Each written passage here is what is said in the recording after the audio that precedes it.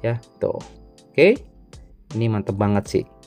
Nah, kita masuk. Oke tampilnya sudah seperti ini. Ya ini keren banget sih menurut saya ya. Kembali lagi bersama saya di channel Wahyu Jekta Tutorial. Nah, teman-teman di video kali ini di sini saya mau share lagi nih ya terkait tampilan nih guys ya. Ini masih di MIUI 14. Saya coba tes di Poco F3. Dan ini saya sarankan coba di HP Poco guys. Di sini saya akan coba ubah atau tampilkan widget pet ya ataupun super widget ataupun super oh, icon guys. Nah, karena di beberapa smartphone Poco itu ada yang nggak support. Jadi di sini saya akan coba gunakan trik backup guys ya. Nah ini dikombinasikan dengan super wallpaper bulan. Kayaknya nanti keren nih guys ya. Oke, nah yang pertama di sini teman-teman coba update dulu untuk aplikasi Poco Launchernya. Nah di sini saya menggunakan versi Poco Launcher yang ini guys nih ya. Disamakan aja biar nanti nggak gagal. Nah tentang Nah, saya menggunakan versi yang ini 7576. Nanti saya sertakan juga di deskripsi untuk aplikasi Poco Launcher yang ini, guys ya. Nah, perlu teman-teman ketahui, Poco Launcher yang ini sudah bisa membuat super folder, guys. Seperti itu ya. Nih, salah satu contoh kita coba lihat. Ini sudah bisa membuat super folder tuh, ya. Sudah support lah ya. Nah, yang belum support di sini untuk super widget ataupun super icon dan juga widget pet di sini masih belum ada, guys. Nah, kita akan coba tampilkan hal itu di sini ya. Oke, yang pertama tadi untuk uh, versi Poco Launchernya yang itu ya, nanti teman download install dulu. Nah, kemudian di sini teman-teman nanti masuk ke dalam sini ya tentang telepon ya. Nah, kemudian teman-teman di sini ada cadangkan dan pulihkan. Kita akan coba gunakan yang ini. Oke, nah sebelum kita masuk ke sini, pastikan dulu untuk filenya sudah ada, guys. Nah, filenya itu di sini nanti simpan atau copy pastekan.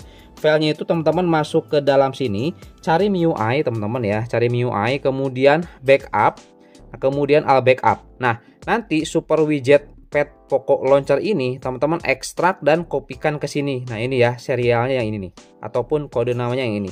Ini jangan diubah, guys. Ini jangan diubah ya. Untuk namanya jangan diubah Nah, nanti pokoknya dari sini teman-teman diekstrak saja nanti keluar ini. Nah, nanti kopikan ke sini ya. Ke internal MIUI backup a backup. Nah, kopikan ke sini guys. Seperti itu ya. Nah, selanjutnya kita langsung balik lagi ke yang tadi, teman-teman langsung ke sini tentang telepon, ke bagian cadangkan dan pulihkan, gunakan perangkat seluler. Nah, kalau misalkan HP teman-teman di sini pakai password, tinggal masuk dulu aja ya, bentar. Nah, kalau sudah masuk, dia akan tampilannya seperti ini. Langsung saja ke bagian pemulihan. Nah, nanti akan muncul teman-teman di sini ya. 13 Februari ini saya baru di backup tadi. Jadi teman-teman nanti kalau misalkan di HP teman-teman itu ya, pasti sama 13 Februari 925 guys ya. Nah, langsung aja di sini kita klik dan langsung kita pulihkan guys. Seperti itu, mudah banget lah. Tunggu sampai 100% ya. Oke, cuman memang filenya agak gede teman-teman sekitar 300 MB-an ya 390. Nah, nanti hasil akhirnya 412 MB ya. Nah, kalau sudah ini selesai aja guys. Langsung kita keluar dan kita lihat boom, teman-teman ya. Nah, sekarang widget-widgetnya juga sudah mantep banget tuh. Teman-teman bisa lihat sendiri ya. Tuh. Keren nggak nih guys ya? Ini keren banget sih ya. Tampilannya keren banget nih widget-widgetnya. Apalagi ini widget padnya nih. Tuh ya juga sama nih. Tuh dia bisa jalan-jalan gitu. Tuh ya. Ketuk-ketuk dia. Malas ini memang kucing. Tuh malah mainin bola lihat. Seperti itu guys. Ini lucu banget sih. Ya keren banget. Nah nanti untuk uh, game turbo atau game booster game space dia akan hilang guys. Nah nanti tinggal masuk aja ke aplikasi security. Teman-teman ya. Kalau misalkan hilang misalkan langsung aja menuju ke sini. Masuk dulu ke dalam gamenya. Untuk disimpan lagi di layar utama Nah, kemudian ke sini dan langsung aja di sini pintasan layar utama diaktifkan, guys. Nah, nanti akan langsung muncul lagi di layar utama. Nah, di sini. Tinggal dipindahkan aja, tinggal di setting aja oleh teman-teman ya. Di sini saya buat seperti ini aja.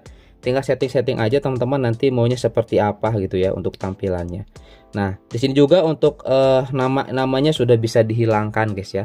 Karena tadi ya karena Poco launchernya itu sudah terbaru terupdate yang sudah support uh, super folder. Nah, kalau kita coba lihat masuk ke setting, nah ini jangan tampilkan teks. Ini bisa dihilangkan teksnya, guys. seperti itu ya. Dan dan urutan uh, susunan layarnya juga bisa 4 kali 7 mantep ya teman-teman ya. Seperti itu guys. Lihat ya. Ini keren banget nih. Tuh. Ya ini mantep guys. Tuh lihat. Wih keren ya. Tuh. Teman-teman bisa dicoba aja ya dengan cara ini kalau misalkan uh, teman-teman nggak dapat nih sampai ya hari ini atau nggak dapat kayak uh, widget pad seperti ini bisa dicoba dengan cara ini guys ya Step-stepnya tadi dari awal teman-teman install dulu Poco Launcher terbaru biar sama teman-teman ya. Nah kemudian nanti tinggal di backup saja dengan file yang sudah saya sediakan nanti di deskripsi. Itu aja sih teman-teman caranya gampang banget ya. Oke? Gimana nih teman-teman ya? Tampilannya jadi bagus banget ya. Keren ini dikombinasikan dengan super wallpaper bulan atau moon guys. Ya, tuh. Oke. Ini mantep banget sih. Nah, kita masuk Oke, tampilnya sudah seperti ini. Ya, ini keren banget sih menurut saya ya. Oke, itu aja mungkin teman-teman ya tutorialnya. Simpel aja, singkat aja, semoga jelas.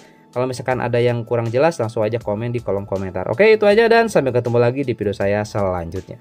Mantap ya, akhirnya nih ya Poco bisa ada widget pad seperti ini. Mantap nih.